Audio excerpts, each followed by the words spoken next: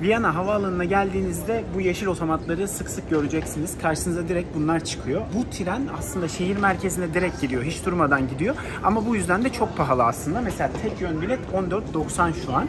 Biraz daha ilerlerseniz kırmızı makinaları göreceksiniz. Onlar da normal tren. O da aralarda durarak gidiyor. Ve 4 küsür euroya şehir merkezine gidebiliyorsunuz.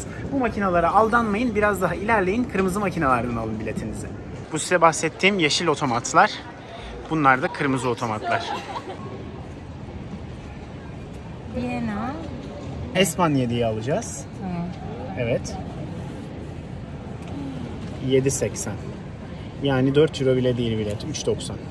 Havaalanında Yılmaz Morgül'ü gördük. Şu an gidiyor. Onaylatmamız gerekmiyor. Bir yerde valide etmemiz gerekmiyor. Çünkü bu gece saat 3'e kadar geçerliymiş bu bilet. Öyle yazıyor üstünde. Yeşil tren 16 dakikada getiriyordu. Biz bu kırmızı trenle 24 dakikada vardık şu an e, gelmek istediğimiz yere. Yani Viyana şehir merkezine. Bu kadar kısa bir vakit için 8 euro fazladan vermeye hiç değmez. Şöyle bir şey fark ettim. Biz e, normalde bileti kişi başı 4 küsür euro olarak biliyorduk. E, otomattan aldığımızda iki kişi seçtiğimizde 3.80'e verdi. Bir internetten bakayım dedim trenin içinde. İnternetten baktığımda tek kişiyi 4.40 olarak veriyor. İki kişi seçince 5.80 olarak gösteriyor. Siz eğer gelirseniz e, internetten bir bilete bakmayı deneyin. Yani otomattan daha ucuz olma ihtimali var. Tecrübe olarak bunu yaşadığım için söylüyorum. İnternette böyle bir bilgiye rastlamadım. Şimdi otelimize vardık. Burası Viyana'dan 4-5 kilometre uzaklıkta bir yer. Yani toplu taşıma kullanarak merkeze gitmemiz gerekecek. 5 gün kalacağız burada ama fiyat performans yeri tutmaya çalıştık. Puanı da bayağı iyiydi. Booking.com'dan tuttuk burayı. 350 küsür euro verdik aslında buraya. Gayet temiz. Ee, Viyana'da bu kadar ucuza zor bulabileceğiniz e, performansta bir otel burası. 5 gün boyunca burada kalacağız dediğim gibi. Viyana'yı buradan keşfedeceğiz. Burada ufak bir mutfağı var. Masası işte mutfakta bir şey yapmak isterseniz. Ve burada da bir yatak odası var işte. Gayet temiz duruyor. Orada bir koltuk, televizyon, kocaman bir camımız da var. Dışarıyı da göstereyim. Bu şekilde.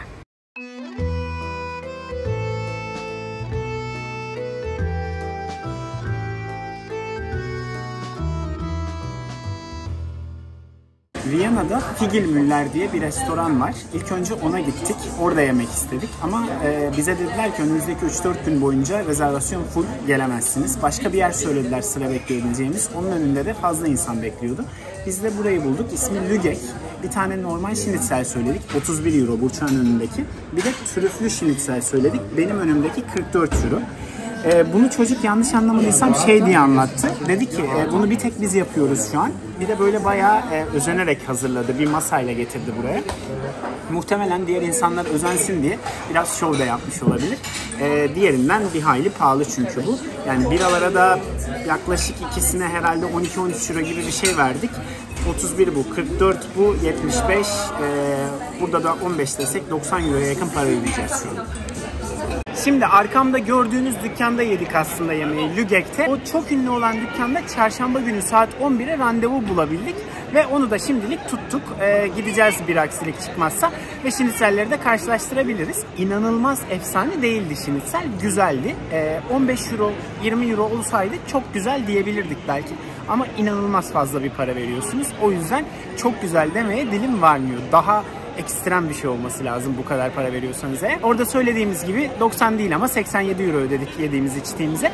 Bugün birinci günümüz daha dinlenmeli bir gün. Yarın size şehri gezdirmeye başlayacağız. Şimdi belki tatlı kahve tarzı bir şeyler de yapabiliriz. Şunu sevmiyoruz ya.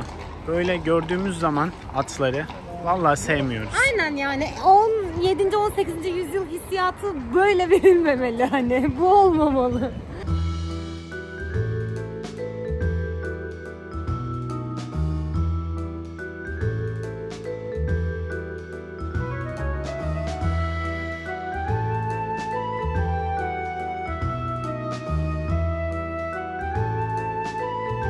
Viyana'da Zaker Torte diye bir tatlı var. Şu an onu yemeye geldik. Otel Zaker diye bir yerden çıkma bu aslında. Biz de şu an onun kafesindeyiz. Ee, dışarıda yani yarım saatten fazla sıra bekledik. Burada her yerde aynı anladığımız kadarıyla. Gerçekten hiç beğenmedik. Yani çok fazla bekliyorsunuz her yerde. Bir de şimdi mesela e, hem yoruluyorsunuz bir de giriyorsunuz içeri fiyatları bir görüyorsunuz. Yani inanılmaz ya. Şimdi mesela söyleyeceğimiz o ünlü pastayı göstereceğiz gelince. O bir kahve ve yanında su menü yapmışlar. 22,5 euro mesela. Şu an ikimiz onu söylesek 45 euro. Gerçekten şaka gibi bence. Tamamen e, bir kere geldik. O yüzden deniyoruz bunları.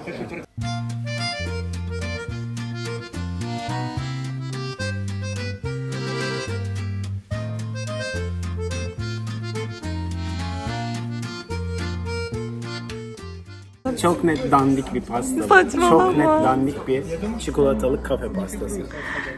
Al bak sana da vereyim. Biraz kayısı şeyi var. e, aroması. Hafif bir var. Bizim doğum günü pastalarımız bence bundan daha güzel. İyi bir doğum günü pastası.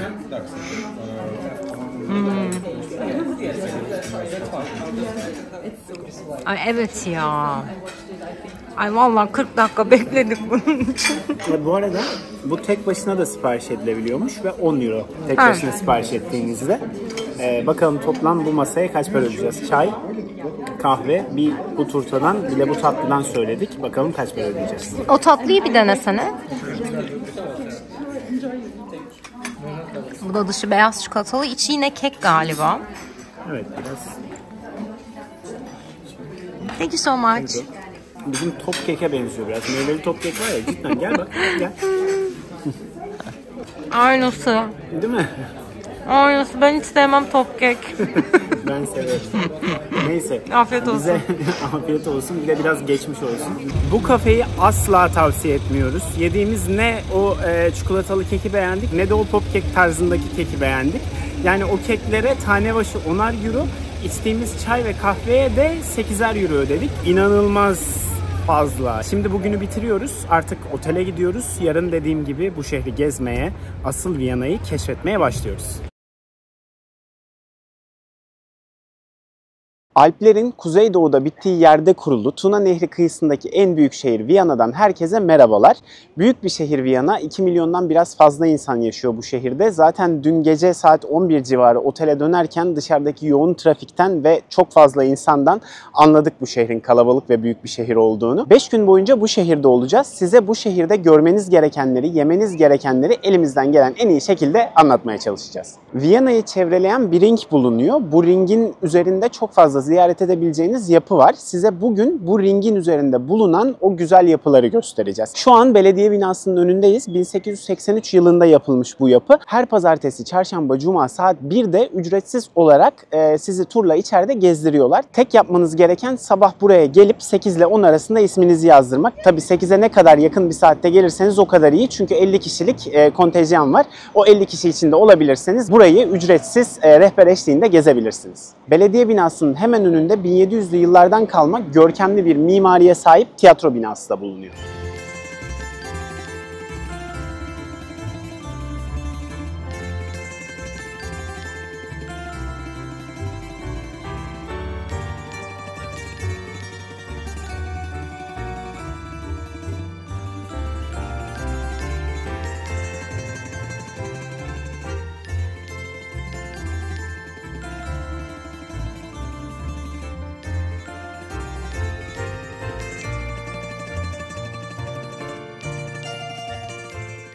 Viyana'nın tarihi merkezini çevreleyen bu ring yolu aslında eskiden şehir surlarının bulunduğu yere yapılmış.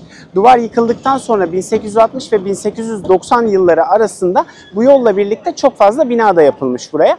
Hemen belediye binasının yanında arkamda bulunan yapı buranın parlamento binası. Özellikle girişi bir Yunan tapınağını andırıyor. Burası da 1883 yılında inşa edilmiş. Burayı da ziyaret etmek mümkün. Aynı belediye binasını ziyaret edebildiğiniz gibi ve ücretsiz aynı belediye binası gibi. Fakat buraya e, online rezervasyon yapabiliyorsunuz. Yani buraya kadar gelmenize gerek yok. Sadece yani birkaç gün önceden e, rezervasyon yapmanızda fayda var. Çünkü mesela bugün cumartesi ben ancak pazartesi gününe rezervasyon bulabildim. E, burayı gelip içeriği ücretsiz bir şekilde bir rehberle gezebiliyorsunuz. Aklınızda bulundurun. Viyana'da her şey çok pahalı. Belediye binası ve burası tamamen bedava. Parlamento binasına geldiğinizde yolun hemen karşı tarafında Volksgarten denilen başka bir park da var. Ee, biz de şimdi gidip e, biraz orada yürüyeceğiz.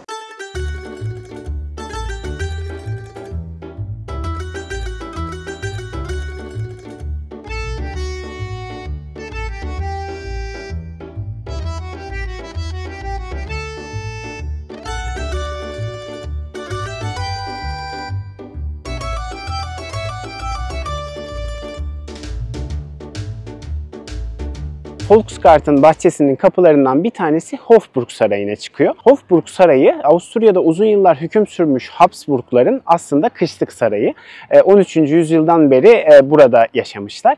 Yazlık Sarayı'na da önümüzdeki günlerde gideceğiz. O da şehirden biraz daha uzak Schönbrunn Sarayı. Burası 1946'dan beri aslında Cumhurbaşkanı'nın resmi ikamet adresi ve ofisi olarak kullanılıyor. Tarihi bir bilgi olarak da 2. Dünya Savaşı döneminde Hitler tam arkamdaki balkondan konuşma yaparak Avusturya Avusturya'yı Nazi Almanyası'na bağladığını da ilan ediyor. Burayı ziyaret etmek mümkün. İçeride sarayın odalarını gezebilirsiniz. Aynı zamanda Avusturya Ulusal Kütüphanesi, İspanyol Binicilik Okulu, İmparatoriçe Sisi ve İmparator Frans Josef'in özel odalarını ziyaret etmek de mümkün. Hofburg Sarayı içerisinde Türkiye İzmir'de bulunan Efes Müzesi'nden bazı eserler de sergileniyor. Çünkü Efes'i 1890'lı yılların sonundan beri Avusturya Arkeoloji Enstitüsü kazıyormuş. Buraların hepsine tek biletle girmek mümkün değil maalesef. Hepsi için teker teker bilet almanız gerekiyor gerekiyor. Hepsini şu an ekranda size gösteriyoruz.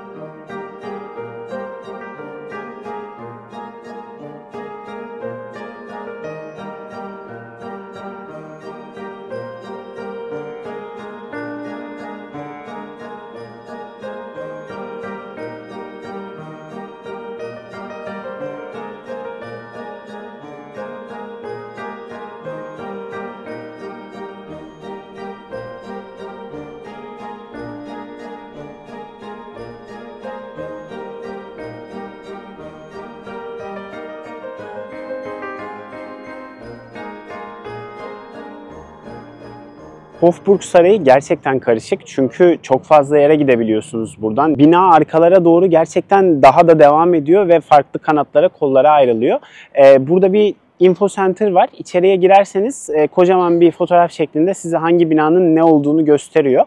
E, mesela kütüphaneye gitmek isterseniz bu ön taraftan giremiyorsunuz. Tamamen bakarken Hofburg'a sol tarafa geçmeniz gerekiyor. O binaların arkasından bir yerden giriyorsunuz. Yani aklınıza bulunsun. Biraz daha iyi anlamak istiyorsanız, buraya gezmek istiyorsanız bu info center'a da gelebilirsiniz. Size şimdiye kadar ziyaret ettiğimiz yerlerin birbirine aslında ne kadar yakın olduğunu anlatmaya çalışacağım. Mesela şu an arkamda e, Hofburg Sarayı bulunuyor ve tam önümde de Volksgarten bahçeleri bulunuyor. Birazdan gideceğimiz yine ana e, atraksiyonlardan bir tanesi olan e, Sanat Tarihi Müzesi ve Doğa Tarihi Müzesi hemen arkamda kalıyor. Biraz Hofburg Sarayı'nın sağında kalıyor ona baktığımız zaman. E, Doğa Tarihi Müzesi'nden sağ biraz yürüdüğünüzde de önünden geldiğimiz parlamento binasını hemen ilerisinde de belediye binasını bulabilirsiniz. Bunların hepsi birbirine çok yakın dediğimiz gibi yürüme mesafesinde. E, biz dediğim gibi buradan şimdi Doğa Tarihi ve Sanat Tarihi Müzesi'nin önüne gideceğiz. Avusturya'da bu birbirinden güzel binaları ziyaret etmek gerçekten yürüyerek çok kolay. Şimdi bu kapıdan çıkarak Sanat Tarihi ve Doğa Tarihi Müzesi'ne gidebiliyorsunuz.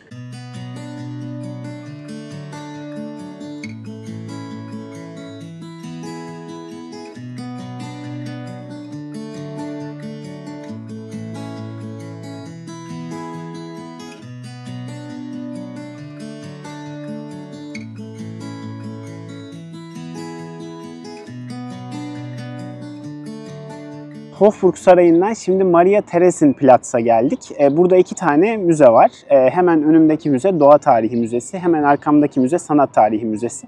Birbirinin tıpatıp aynısı neredeyse bu binalar ve ikisi de çok görkemli ve çok güzel. Bu meydan da çok güzel.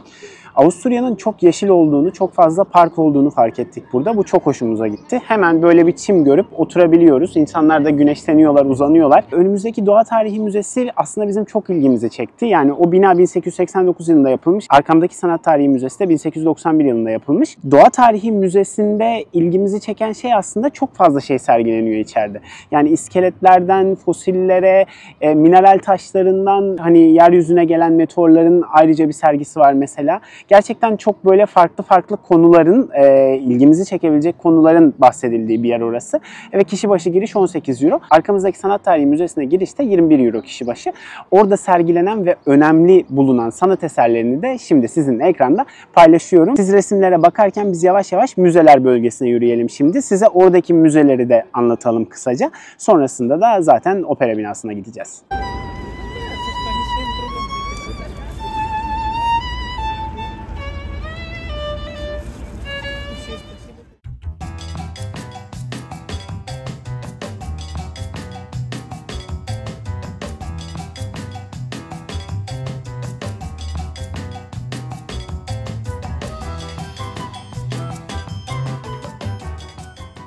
Müzeler bölgesindeki müzeler genellikle modern sanat eserlerinin sergilendiği müzeler. Yani modern sanata meraklıysanız bu bölgedeki müzeleri araştırmanızı öneririz.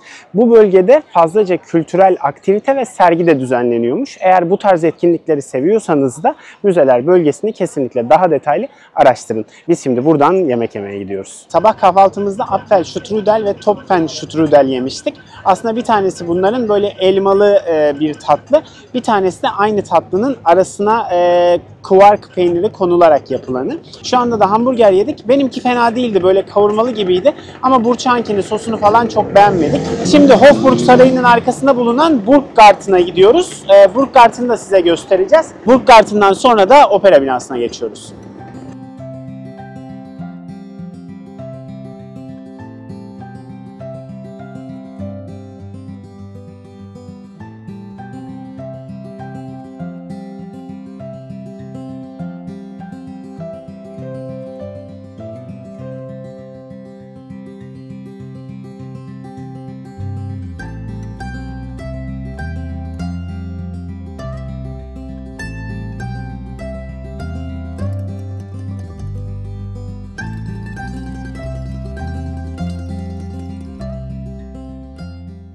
...1869 yılında tamamlanan opera binası ring üzerinde bulunan en önemli yapılardan bir tanesi. Yılda yaklaşık 300 performans gösteriliyormuş bu opera binasında. Yani hayli aktif olarak kullanılıyor.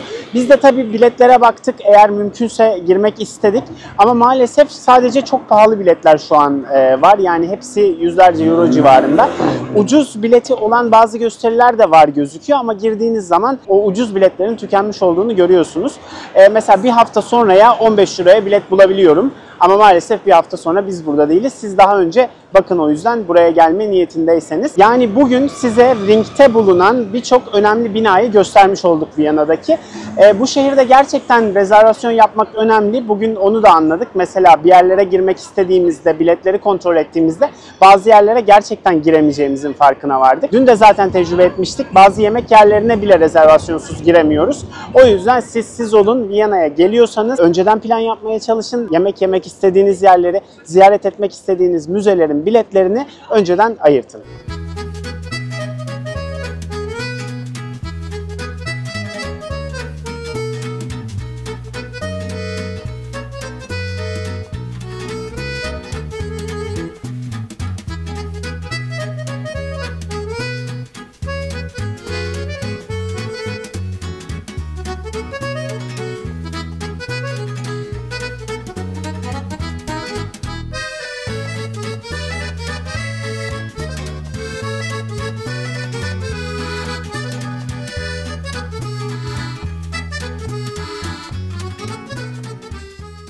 Viyana'dan tekrar merhabalar. Ee, Bugün kahvaltıda Kaiser Schmarren denilen başka bir tatlı tadıyoruz. Tam opera binasının karşısındayız.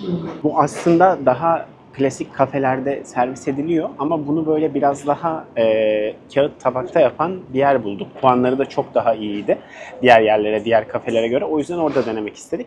Aslında pankek, e, üstüne işte benimkinde elma reçeli tarzı bir şey var. Burçankinde de Nutella var. İkimiz de vanilya topları koydurduk üstüne. Bu aslında buranın ünlü bir tatlısı. E, pankekleri böyle sanki bölüyorlar, bütün koymuyorlar ama onun içine de üzüm koyuyorlar. Üstüne işte farklı e, şeyler e, koyulabiliyor. E, bunu yiyeceğiz. Buranın hemen yanında başka bir kafe var. Kobens diye. Bunları yemeden önce hemen bir pizza da yedik buradan. Gerçekten çok beğendik. Hatta e, içerideki insanlar da Türk çıktılar. E, gerçekten her yerdeyiz. Tam opera binasının karşısında kahvemizle Kaiser Schmarren'la güne başlıyoruz Viyana'da. Dün yediğimiz Apfelstrudele benziyor. İçi çünkü elmalı. Hani aynen. Pankekte normal bildiğimiz pankek standart güzel bir tatlıyla güne başlıyorsunuz. Dün size operaya giremeyeceğimizi maalesef söylemiştik ama bir yol bulduk. Ee, her gün olan gösteri için o gün saat 10'da ayakta izleyebileceğiniz biletler satılmaya başlanıyor. İçeride 450 kişilik yaklaşık e, ayakta izleme alanı bulunuyormuş. Biz de o biletlerden bir tanesini aldık. Bugün saat 7'de olan gösteri için operayı ayakta izleyebilme şansımız oldu. Akşam operada görüşeceğiz yani. Şimdi Avusturya Ulusal Kütüphanesi'ne gidiyoruz. E, Hofburg Sarayı'nın arkasında dün geçtiğimiz Burggarten'dan geçiyoruz. Burası gerçekten çok keyifli duruyor. E, burada da bol bol zamanımız olduğu için ilerleyen günlerde gelip burada böyle bir yarım günü en azından 2-3 saat geçirmeyi gerçekten istiyoruz. Umarız yapabiliriz. Bürggarten'dan yürürken buraya gelmek için Hofburg Sarayı'nın çok güzel e, bölümlerinden geçtik. Hep böyle bina aralarından. Gerçekten sarayın ne kadar büyük olduğunu anlıyorsunuz. Şimdi arkamda da kütüphane var. Ee, özellikle State Hall dedikleri kısmı çok güzel böyle tarihi eski gözüküyordu, görkemli gözüküyordu. Biz de onu görmek istedik. Şu an e, State Hall'u aslında Avusturya Ulusal Kütüphanesi'ni ziyaret ediyoruz. Burası için kişi başı 10 euro ödemeniz gerekiyor. Ee, diğer başka hiçbir yere giremiyorsunuz. Bileti ayrı satılıyor.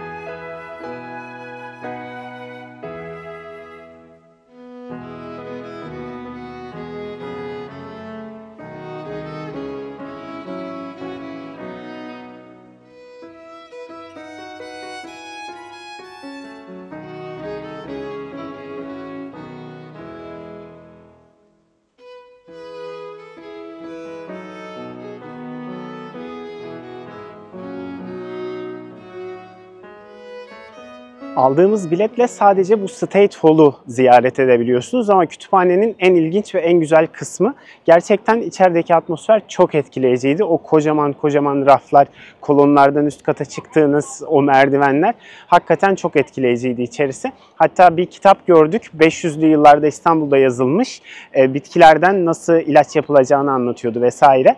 Keşke daha çok böyle örnek görseydik. İçeride daha çok Anton Bruckner'i anmak adına e, müzik kitapları ile ilgili e, sergiler vardı. Daha çok onları göstermişler ama bizim o konuda çok bilgimiz olmadığı için bizi çok etkilemedi. E, diğer türlü daha tarihi, daha eski e, kültürel kitapları görmek isterdik. Ama içerisi her halükarda çok etkileyici. Tavsiyedir. E, buraya gelirseniz vaktiniz olursa kesinlikle girin. Şimdi kütüphaneden çıktık. Hofburg Sarayı'nın etrafında yürüyorduk. Sisi Müzesi'nin oraya geldik. E, Sisi aslında e, Avusturya Kraliçesi e, 1800'lü yıllarda ve kendisi bayağı ünlü çünkü hiçbir zaman bu şaşalı saray hayatına uyum sağlamak istememiş. Çok daha özgür ruhlu yaşamak istemiş ve bu yüzden de hep sorunlar yaşamış kendi içinde ve e, saray halkıyla.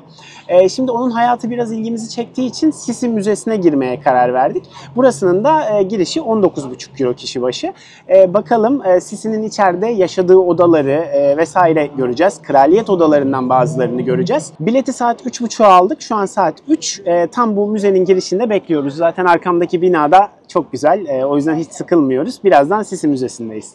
Sisi Müzesi'ne girerken sesli rehberi ücretsiz olarak veriyorlar. Bu bayağı iyi bir şey. 1837'de Münih'te doğan Sisi lakaplı Elizabeth 16 yaşındayken İmparator Frans Joseph ile evlendi. Saray hayatını sıkıcı ve boğucu bulduğu için sağlık sorunlarını da bahane ederek sık sık saraydan ve kocasından uzaklaşarak farklı şehirlerde vakit geçirdi. Ata binmeyi, spor yapmayı, şiir yazmayı çok seviyordu. 1898 yılında İsviçre Cenevre'de bıçaklanarak öldürüldüğünde 44 yıl süreyle Avusturya tarihinde en uzun süre hüküm süren imparatoriçeydi. Sisi Müzesi'nde İmparator Frans Joseph ve İmparatoriçe Sisi'nin çalışma odaları, yemek odaları, yatak odaları gibi çeşitli özel odalarını görebilirsiniz. Frans Joseph'in çalışma odasındaki masasının üstündeki eşinin ve çocuklarının resimleri, o dönemdeki tekerlekli sandalyesi, Sisi'nin spor odası, neredeyse her odada bulunan şömineler ve devasa yemek masaları görebileceğiniz ilgi çekici şeylerden sadece birkaçı.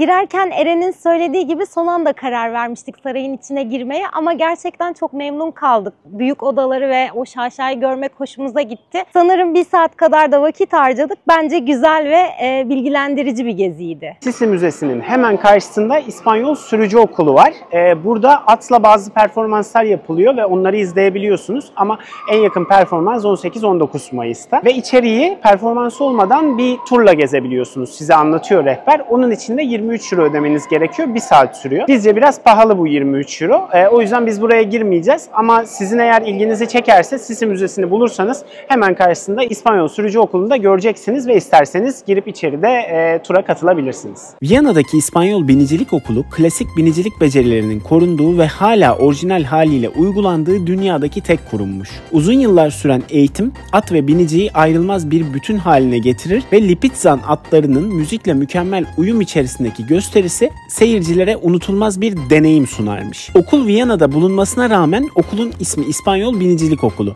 Çünkü burada yetiştirilen özel ırk atlar zamanında İspanya'dan getirilmiş.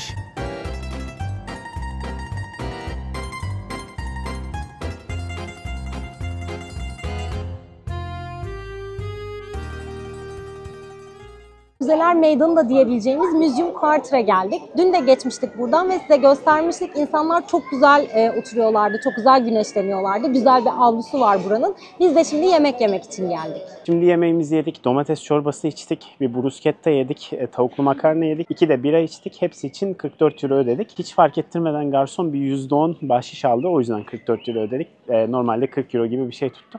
Burada bahşiş verecek misiniz diye soruyorlar genelde. Viyana'da gördüğümüz bir şey yani demek ki yaygın. E, şimdi Maria Hilferstrasse diye bir sokak var. Bayağı uzun, e, sağlı sollu hem yemek dükkanları hem alışveriş dükkanları. E, oraya gidiyoruz. E, eğer yetişebilirsek bir dondurmacı varmış Burçak'ın bulduğu. Oradan dondurma alacağız ve hemen koşa koşa operaya dönmemiz lazım. Çünkü saat 7'de operamız başlıyor. Saatte şu an 6'yı 5-10 geçiyor. O yüzden Maria Hilferstrasse'ye gidelim. Size de orayı kısaca bir gösterelim. Alabiliyorsak dondurmamızı alalım. Alamıyorsak sonraya bırakalım. Sonra da operaya koşalım. Bu cadde dün inanılmaz kalabalıktı. Burası hamburgeri yediğimiz cadde aynı zamanda. Bugün pazar. Pazar günü Avusturya'da marketler de kapalı. Anladığımız kadarıyla dükkanlar da kapalı. Birçoğu. E, o yüzden burada şu an çok az insan görüyoruz düne kıyasla. Bu dondurmacı Avusturya'da bayağı ünlüymüş. Sadece Viyana'da 5-6 yerde şubesi var bu dondurmacının. Ee, ama bence bir İtalyan dondurması değil. Operaya yetiştik. Saat 7'ye 13 var. Şimdi girmek üzereyiz. Işıkları bekliyoruz. İnşallah bir kıyafet zorunluluğu yoktur. Burada biletleri kontrol ediyorlar. Hemen girişte merdivenlerde.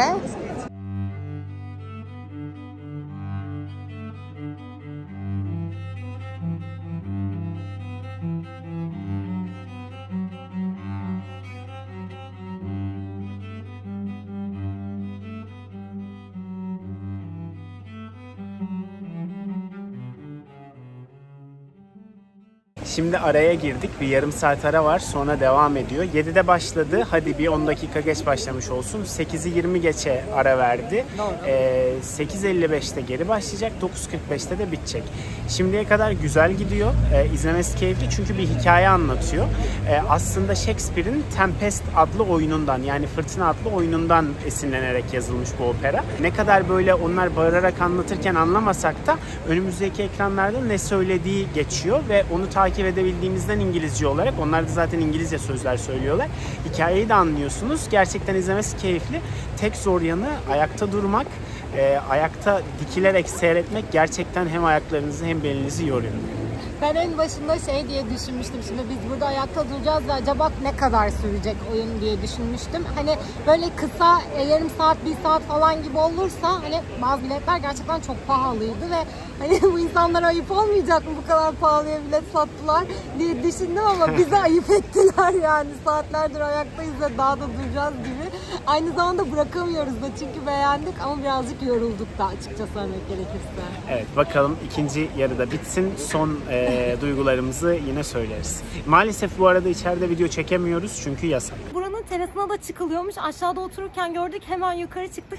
Oyun başladığı için herkes koşturuyor şu an muhtemelen. Biz de gidelim.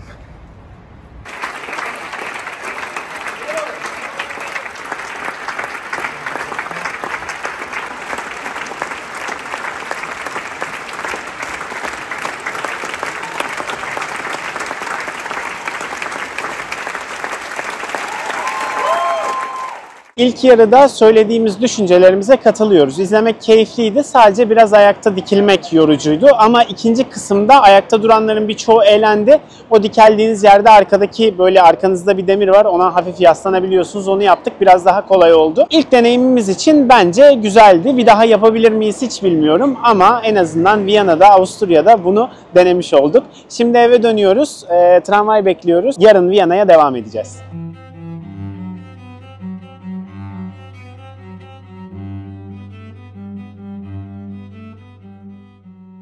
Tafelspitz denilen e, bir yemek var burada. Bizim haşlamaya benziyor biraz. E, ikimize şu çorba kaselerinde servis ettiler. İçinde şöyle et haşlama var. Bazı işte sebzeler var, e, soğan var vesaire. Bakır tencereden servis ediyorlar. Et de burada gördüğünüz gibi. Burçağın önündeki de şipargel diye geçiyor. O da aslında beyaz kuşkonmaz. Tadı güzel. Bunlar Viyana'ya gelmişken yenmesi gereken yemekler olarak biliniyor. Biz de o yüzden bunları bugün tadıyoruz. İkisinin de tadı fena değil. Yani damak zevkimize uyuyor. Ama biraz pahalılar. Muhtemelen sağlam bir hesap ödeyeceğiz bu masaya. Şu anda Viyana'daki Belvedere Sarayı'ndayız. Bu saray özellikle Osmanlı karşısındaki askeri başarılarıyla da ünlenen Savoylu Prens Öce'nin yazlık e, sarayı olarak 1700'lü yılların başında yapılmış. Arkamda gördüğünüz yukarı Belvedere Sarayı ve aşağıdaki aşağı Belvedere Sarayı olmak üzere iki kısımdan oluşuyor. Arasında bir bahçe bulunuyor ve bu iki binayı birbirine bağlıyor. Bu bahçeleri gezmek tamamen ücretsiz. Aşağı Belvedere Sarayı için yaklaşık 15 euro, yukarı Belvedere Sarayı için 17,5 euro. İkisini birlikte gezmek istiyorsanız da yaklaşık 25 euro ödemeniz gerekiyor bilet için. Biz şimdi buranın bahçelerini ücretsiz gezebildiğimiz için sadece bahçelerinin tadını çıkaracağız. E, saraylara girmeyeceğiz. Siz girmek isterseniz bilet fiyatlarını öğrendiniz. Günümüzde bu binalar müze olarak kullanılıyor. Avusturyalı ünlü ressam Gustav Klimt'in de birçok eseri bu binalarda sergileniyor.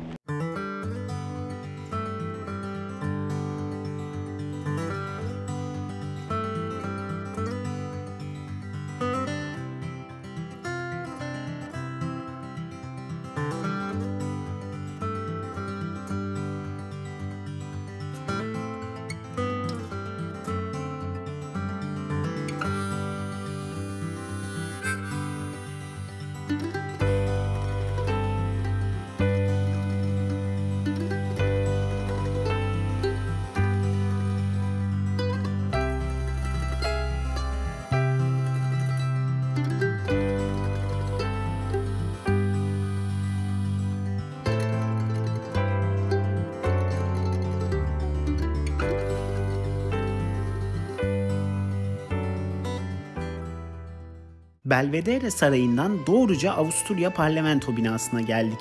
Çünkü cumartesi günü, pazartesi günü yapılacak olan rehberli ücretsiz parlamento binası turuna online olarak rezervasyon yaptırmıştık. Tur yaklaşık olarak 1,5 saat civarında sürüyor ve ister Almanca ister İngilizce turlara katılabiliyorsunuz. Tur boyunca rehber size parlamento binası ve parlamento hakkında birçok bilgi veriyor. Eski meclis salonu gerçekten görülmeye değer fakat günümüzde sadece çok özel törenlerde kullanılıyormuş. Turun bir bölümünde yeni meclisin koltuklarına oturup rehberin verdiği bilgileri dinliyorsunuz. İsterseniz kürsüde fotoğraf bile çektirebilirsiniz.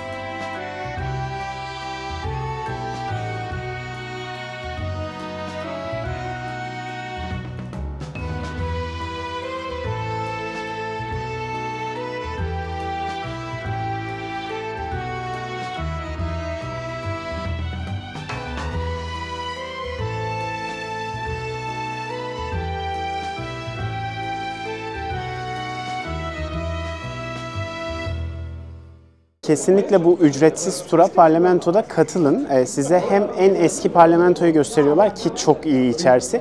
Hem de yeni parlamentoda e, oturtup koltuklara bir şeyler anlatıyorlar. Yani orada konular tartışılıyor. Orada milletvekilleri oturuyor. Çok interaktif, çok beğendik. Bilgi veren rehber de çok istekliydi anlatmaya. Bu da sizi konunun içine daha çok çekiyor. Ücretsiz diye kesinlikle küçük görmeyin bu aktiviteyi. Biz çok keyif aldık. Aktivitenin sonunda da e, terasa çıkabiliyorsunuz. Terastan da tam arkamda Hofburg Sarayı'nın güzel bir görüntüsü var. Şimdi Viyana'nın en işlek caddelerinden bir tanesindeyiz. Kartnerstrasse diye geçiyor burası. Çok fazla alışveriş dükkanı var. Zaten insan yoğunluğu da çok fazla burada. Bizim İstiklal Caddesi'ne benziyor aslında İstanbul'daki. Bu caddeyi takip ettiğinizde arkamdaki Aziz Stefan Katedrali'ni buluyorsunuz. Viyana'nın en ünlü katedrali burası. 1147 yılından beri burada bulunuyor. Yani çok fazla şeye tanıklık etmiş tarih boyunca. Ee, Osmanlı'nın Viyana kuşatmaları da bunlara dahil. Ee, zamanında kuşatmalar sırasında bu katedralin içine de saklanmışlar. Buraya sığınmışlar da. E, iki tane kulesi var ziyaret edilebilen. Bir kuzey kulesi, bir güney kulesi. Kuzey kulesinde bir çan bulunuyor ve kuzey kulesine asansörle çıkıyorsunuz. 7 euro ödemeniz gerekiyor sadece kuleyi ziyaret etmek için. Asansörün sizi çıkardığı yerde gördüğünüz çan aslında Osmanlı Viyana'yı terk ettiğinde ardında bıraktığı toplardan dökülerek yapılmış bir çan. Bu yüzden aslında önemli. E, İkinci Dünya Savaşı'nda kilise zarar görüyor. Bu çan yere düşüyor, kırılıyor. Çanı aynı malzemeden tekrar döküyorlar ve bu çan hala bu kuzey kulesinde bulunuyor. Bir de güney kulesi var. En yüksek kulesi bu kilisenin. Ona da 343 basamak tırmanarak ulaşabiliyorsunuz ancak. Onun da e, bileti 6,5 euro. Oradan da çok daha iyi bir şehir manzarası izleyebiliyorsunuz. Kilisede bir de bizim için yine önemli sayılabilecek bir heykel var. Kilisenin rahibinin ayakları altında ezilen bir Osmanlı askeri tasvir edilmiş bu heykelde. Size şimdi biraz kiliseyi gösterelim. Etrafını biraz dolaşalım beraber.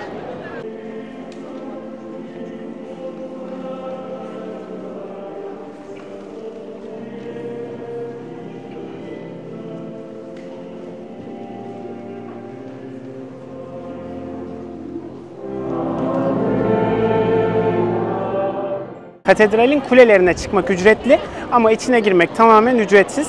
Biz de şans eseri bir ayine bile denk geldik içeride. Siz de hiçbir ücret ödemeden içeriye girebilirsiniz. Şu an bulunduğumuz caddenin ismi de Graben. Ee, az önce bahsettiğimiz Kartner'i dik kesiyor bu cadde. Bu caddede bir tane veba anıtı bulunuyor. 1679 yılında bu şehirde ölen 80 bin insanın anısına yapılmış bu veba anıtı. Eğer Viyana'yı ziyaret ediyorsanız size gösterdiğimiz bu iki caddeyi kesinlikle ziyaret edeceksiniz. Özellikle kısa zamanınız varsa buralarda çok vakit geçireceksiniz. O yüzden mutlaka bu iki caddenin ismini şimdiden bir yere not edin. Size şimdi Avusturya'ya kahvenin nasıl geldiğinden bahsedeceğim biraz. Kahve aslında Osmanlı'ya ilk defa 15. yüzyılda o dönemin Yemen valisi tarafından Yemen'den getiriliyor ve Venedikliler aracılığıyla İstanbul'dan Avrupa'ya yavaş yavaş yayılıyor. Ama Avusturya'ya biraz daha farklı bir yolla geliyor. İkinci Viyana kuşatması sonrasında Viyana'yı terk eden Türkler geride bazı malzemelerini bırakıyorlar. Kahve çuvalları da bunlardan bir tanesi ve Avusturya'yı o kahve çuvallarıyla kahveyle tanıştırmış oluyorlar. Peki ben bu tarihi hikayeyi size neden Starbucks kahvesiyle anlatıyorum? Çünkü Viyana kahvelerine çok fazla para ödedik şimdiye kadar. Yani 6 euro, 7 euro, 10 eurodan başlıyor kahveler. Ve birçok ülkede normal kafeye göre daha pahalı kahve satan Starbucks bu ülkede daha ucuz. Eğer Viyana'daysanız ve başka Avrupa başkentlerini de görmek isterseniz Bratislava bunun için iyi bir seçenek olabilir. Çünkü Viyana'ya çok yakın.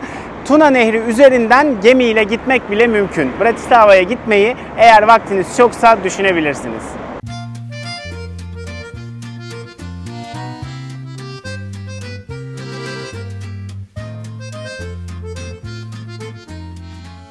Viyana Tuna Nehri kıyısındaki en büyük şehir olmasına rağmen nehrin ana kolu şehrin merkezinden geçmiyor. Nehrin başka bir kolu şehir merkezine yakın geçiyor. Buranın etrafında da akşam üzeri e, güneşin buraya vurmasıyla çok güzel bir ortam oluşmuş. Bütün gençler buradalar. Ayaklarını şu an bizim yaptığımız gibi Tuna Nehri'ne uzatarak e, içkilerini içiyorlar, keyif yapıyorlar. Biz de şu an onlara katıldık.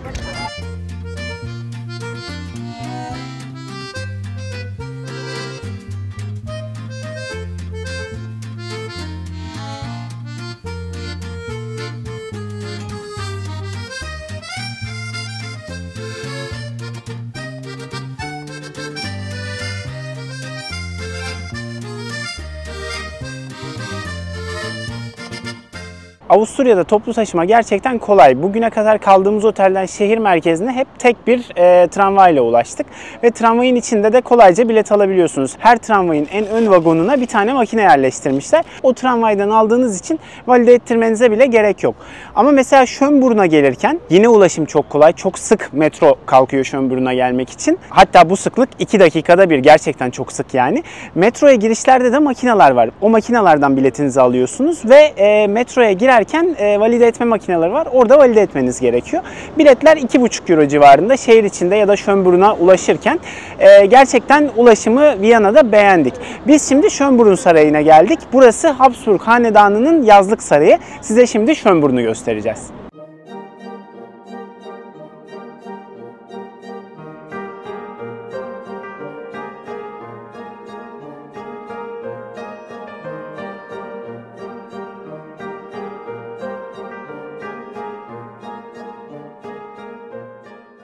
Size daha önce bahsettiğimiz Habsburgların yazlık sarayı olan Schönbrun'dayız. Ee, aslında burası Roma İmparatorluğu'nun burada bir su bulup oraya çeşme yaptırtırıp o çeşmeyi güzel çeşme yani Schönbrunn olarak adlandırmasıyla tarihte yerini alıyor. Daha sonradan buraya Habsburgların yazlık sarayı inşa ettiriliyor. Çok güzel de bir bahçe yapılıyor bu saraya. Biz şimdi o sarayın bahçesindeyiz. Sarayı ziyaret etmek mümkün. Biletler girmek istediğiniz odalara göre 22 euro ve 32 euro arasında değişiyor.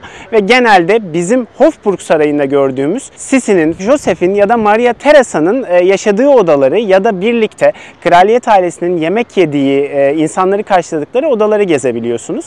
Biz bugün bu sarayın içine girmeyeceğiz. Bu sarayın kocaman bir bahçesi var. O bahçeyi keşfedeceğiz. Sarayın tam ters istikametine doğru yürüdüğünüz zaman bir tepeye doğru çıkmaya başlıyorsunuz ve hem sarayı hem de Viyana şehrini yukarıdan görüyorsunuz. Gelin hep birlikte Schönbrun'un bahçelerine ve Schönbrun'un tepesinden Viyana şehrine bakalım.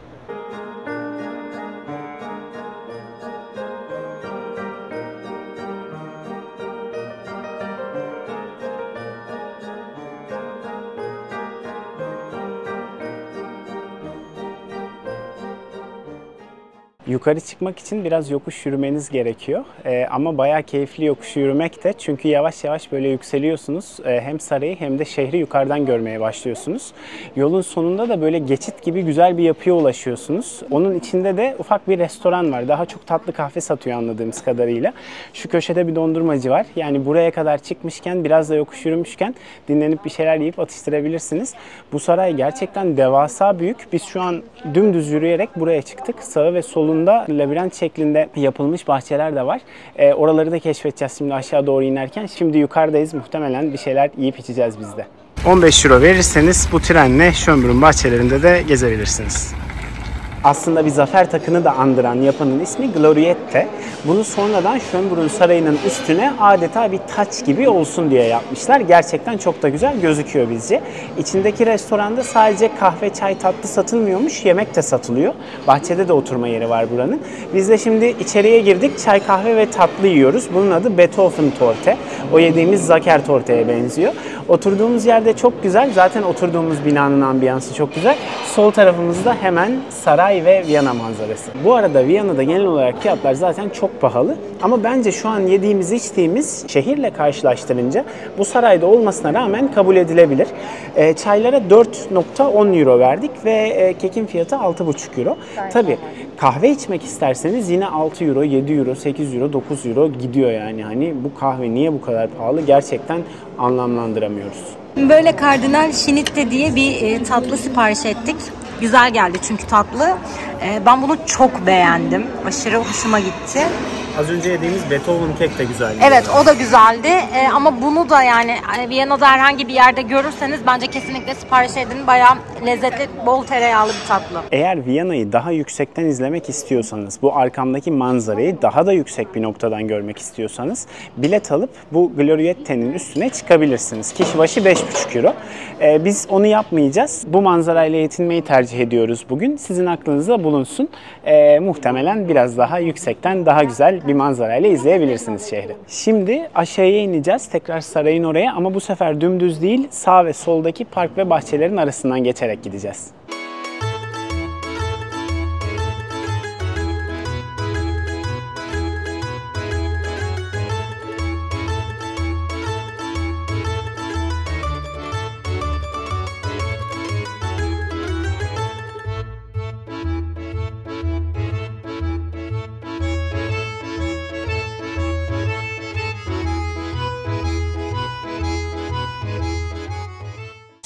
Sarayı'nda bahçeleri gezmek için yaklaşık iki buçuk saat kadar vakit harcadık. E, tahmin ettiğimizden daha büyüktü buradaki bahçeler ve gerçekten hoşumuza gitti. Daha önce de söylediğimiz gibi sarayın içine girmeyi tercih etmedik.